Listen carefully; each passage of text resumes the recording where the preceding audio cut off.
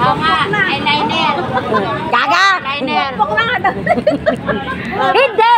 Pag lipstick pa lang, kalad yan. Hindi nga. Pagka mayroon na yun dito, kapokpokan na. Talong ko lang pa yung dito.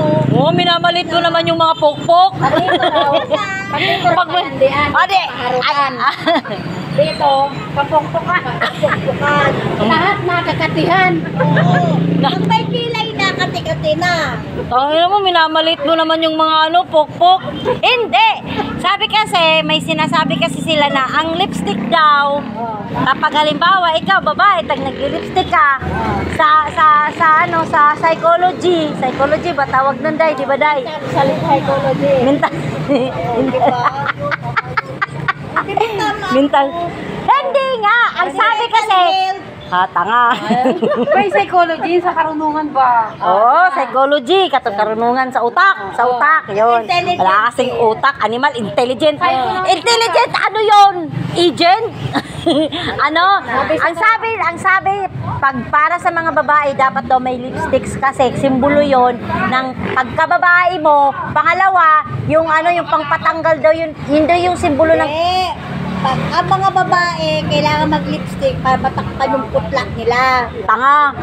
Tutuloyin mo muna nga siya. Ano yun? Hindi nga, simbolo nga daw yun kasi pag babae ka, di ba may lipstick? Simbolo ng pagkababae. Pangalawa, pantanggal daw yun ng ano, yung, yung pang, pang fresh ng aura. Pang aura daw yun ng Eh, paano babae. ko naman yung bakla nag-lipstick? Ang press ng ano? Simbolo ng ano yung kabaklan. Gago ka. Press ng ano, pang press. Siyempre yung bakla, ano, teka kalahati babae yun. Ah, yun. oh. Hindi dapat kalahati lang ang lipstick. Tang ina na ito yun. ah. Yung sa kabila, kabila daw lalaki. Bakit ba? Ako bakit naman? Parang mamamatay na yung client. Para magkamukha sila. Gago. Karaulo. De, sabi talaga yun. Si- Sinasabi yun, mayroon yun sa psychology, Nay. Sinasabi, ang babae, ang lipstick daw. Ano pa tawag nun? Nasa, nasa dulo na ng dila ko eh. Yung lipstick na. Hindi na judge mo yung ano niya. Malay mo naman, mabubuhay pa yun ng tatlong taon. Eh, Tatlong taon na ang kontrata ni Pildite. Ay si Ala. Sino kanina ba yung subscribe na nakita ko nag-apply tapos patay na? Oo, may ganun, te. Oo, nakita ko sabi ko ayun na sabi ko ano ah. Kami nga sa Sky eh, Oo. nag-apply siya kahapon. Tapos kakapitan na siya ngayon.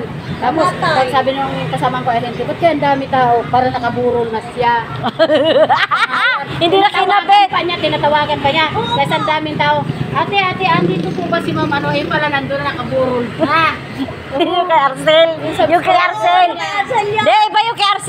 Isang, ano naman yun, linggo naman nakalipas yun.